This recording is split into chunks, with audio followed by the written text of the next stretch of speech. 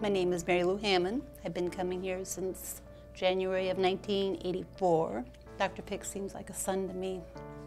He saved my teeth for all these years. And the girls are wonderful, the office is wonderful. They make you feel wanted. When they call to remind you, they're glad to talk to you. They ha always have time to talk to us.